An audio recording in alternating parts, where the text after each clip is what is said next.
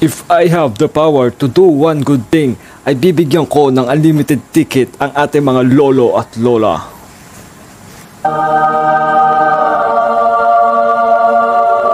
Alam niyo kung para saan yung ticket na yon? Para makapaglakbay sila saan bang lugar, saan man sulok ng mundo nila gusto. 'Di ba? Isang napaka-sweet na regalo yon para sa ating mga lolo at lola.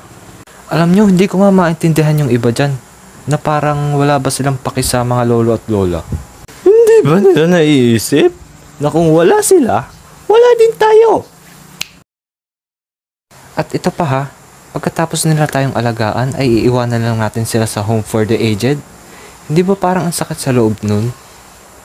Anyways, if I have the power to remove one wrong thing in this life, ay tatanggalin ko ang mga mangga. La, ba't naman mangga? Wag to, yung iba na lang. Ang sarap kaya nito. Bakit? Mangga ba yung hawak mo?